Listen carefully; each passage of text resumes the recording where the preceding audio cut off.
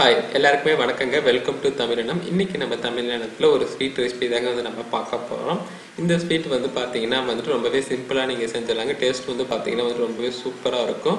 அப்படி என்ன ஸ்வீட் அப்படின்னா வந்து இன்றைக்கி வந்து நம்ம பால் பன் எப்படி வந்து செய்கிறது அப்படின்னு சொல்லிட்டு தாங்க வந்து இந்த வீடியோ வந்து நம்ம பார்க்க போகிறோம் இப்போ வாங்க நம்ம வீடியோக்குள்ளே போகலாம்.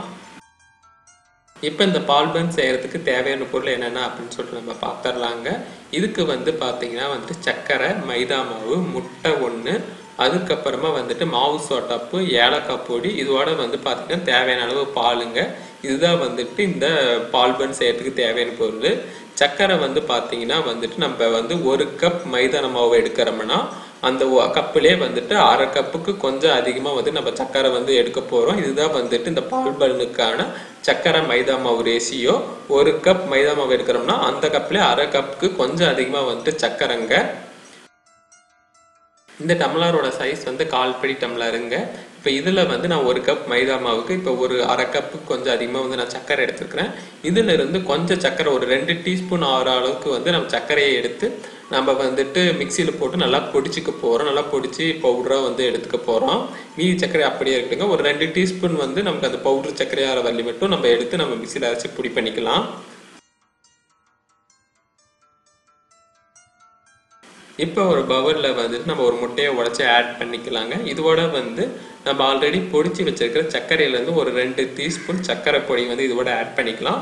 மீதி இருந்த சர்க்கரையை வந்துட்டு அந்த ஆல்ரெடி இந்த சர்க்கரையோட வந்து ஆட் பண்ணி வச்சுக்கோங்க. அது வந்து பார்த்தீங்கன்னா நம்ம தனியாக வந்து சுகர் ஸ்ட்ரிப் கா காய்ச்சறதுக்காக நம்ம வச்சுக்க போகிறோம் அதுக்கப்புறமா இதோட வந்துட்டு ஒரு பிஞ்சு வந்து மாவு சோடாப்பு அதுக்கப்புறமா ஒரு ஹாஃப் டீஸ்பூன் சின்ன ஸ்பூன் ஒரு ஹாஃப் டீஸ்பூன் வந்து இது ஏலக்காய் பொடியை வந்து ஆட் பண்ணிக்க போகிறோங்க ஆட் பண்ணிட்டு இதை வந்து நல்லா பீட் பண்ணிக்கோங்க. நல்லா பீட் பண்ணி நல்லா மிக்ஸ் ஆகிற மாதிரி வந்து நல்லா பீட் பண்ணி எடுத்துக்கோங்க.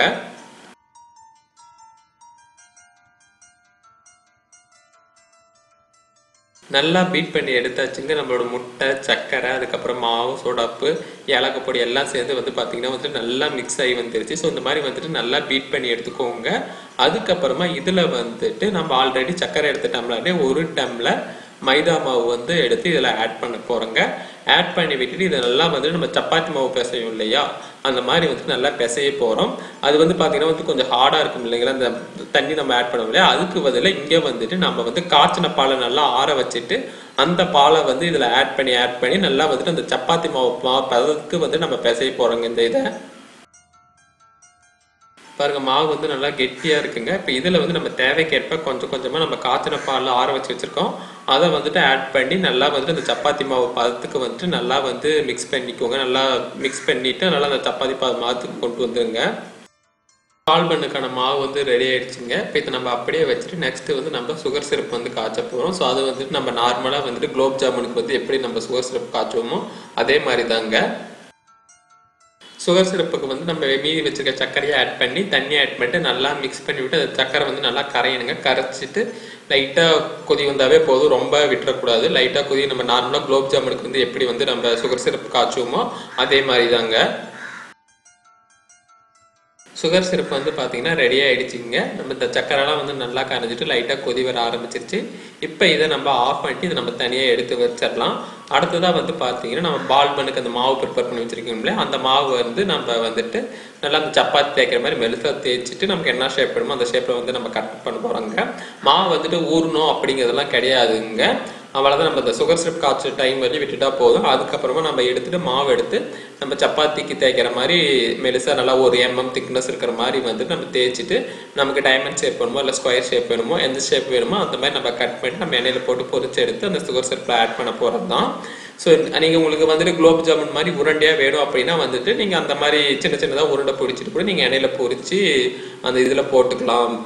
சிரப்பில் வந்து போட்டுக்கலாம் நீங்கள் ஸோ இன்றைக்கி நாங்கள் வந்துட்டு ஸ்கொயர் ஷேப் தாங்க ட்ரை பண்ண போகிறோம் அதனால் வந்து நாங்கள் மாவு வந்து நல்லா தேய்ச்சிட்டு சின்ன சின்னதாக ஸ்கொயர் பீஸாக வந்து நம்ம கட் பண்ணி வச்சுருக்கோம். இப்போ வந்துட்டு ஒரு கடாயில் வந்துட்டு நல்லா பொறிச்சு எடுக்கிற அளவுக்கு எண்ணெய் ஆட் பண்ணிக்கோங்க. எண்ணெய் ஆட் பண்ணி நல்லா அதை மிதமான ஹீட்டில் வச்சுட்டு அதை நல்லா ஹீட் பண்ணிக்கோங்க எண்ணெயை. நல்லா ஹீட் ஆனதுக்கு அப்புறமா நம்ம கட் பண்ணி வச்சிருக்கோம் இல்லையா அந்த பால் பண்ணோட இருந்தது அதை வந்து இதோட ஆட் பண்ணிட்டு நல்லா வந்து பொரிச்சு எடுங்க. நல்லா வந்து பார்த்திங்கன்னா வந்துட்டு அது நல்லா ப்ரௌன் கலராக ஆகணும். அது வரையும் வந்துட்டு நல்லா திருப்பி திருப்பி போட்டு அதை வந்துட்டு நல்லா வந்துட்டு இது பண்ணி ஃப்ரை பண்ணுங்க. அடுப்பை வந்து பார்த்தீங்கன்னா நீங்கள் வந்து மிதமான ஹீட்டில் வச்சுக்கோங்க. நீங்கள் ரொம்ப ஹை ஃப்ளேமில் வச்சிங்கன்னா வந்துட்டு உங்களுக்கு அவுட் சைடெலாம் வந்துட்டு சீக்கிரம் வந்து இதாகிடும் உள்ளே வந்துட்டு வேகாது. அதனால் வந்துட்டு நீங்கள் மிதமான ஹீட்டில் வச்சிங்கன்னா உங்களுக்கு உள்ளேயே வெந்துடும் அவுட் சைடு வந்து பார்த்தீங்கன்னா வந்துட்டு நல்லா வெந்து வந்துடும் அதனால் மிதமான ஹீட்டில் வச்சு நல்லா வந்துட்டு ப்ரௌன் கலர் ஆகிற விடுங்க. அவ்வளோதாங்க நம்மளோட சுவையான பால் பன் வந்து பார்த்தீங்கன்னா ரெடி ஆகிடுச்சிங்க நல்லா மீடியம் ஃப்ளேமில் வச்சு இந்த மாதிரி வந்து திருப்பி திருப்பி போட்டு எல்லா சைடும் நல்லா ப்ரௌன் கலராக ஆகிற வரலையும் வந்து நம்ம வேக விட்டு எடுத்துக்கோங்க. எடுத்து நம்ம எண்ணெயிலேருந்து ஃபில்டர் பண்ணி எடுத்துட்டு அதை வந்து நாங்கள் சுகர் சிரப்பில் ஆட் பண்ணிவிட்டு நல்லா சுகர் சிரப் வந்து எல்லா சைடும் அப்ளை வர மாதிரி நல்லா திருப்பி திருப்பி போட்டிங்கன்னா நம்மளோட பால் பன் வந்து ரெடி ஆகிடுங்க இந்த பால் பன் வந்து பார்த்தீங்கன்னா வந்துட்டு ரொம்பவே டேஸ்ட்டாக இருக்காங்க. ரொம்பவே டிஃப்ரெண்ட்டாக இருக்கும். நீங்கள் சிம்பிளாக வந்து செஞ்சிடலாம்.